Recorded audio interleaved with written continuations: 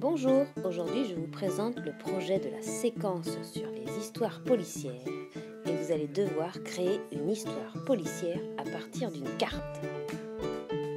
Vous commencerez par étudier les caractéristiques d'un roman policier.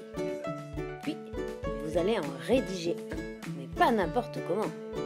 Votre histoire se déroulera à Peyrorade et vous la mettrez en forme à partir d'une carte de cette même ville. On appelle cela une story map. En voici un exemple. Comme vous le voyez, vous disposez d'une carte sur laquelle on peut insérer différents médias grâce à des petits pointeurs. Il vous reste beaucoup de travail, je vous dis donc à vos ménages maintenant.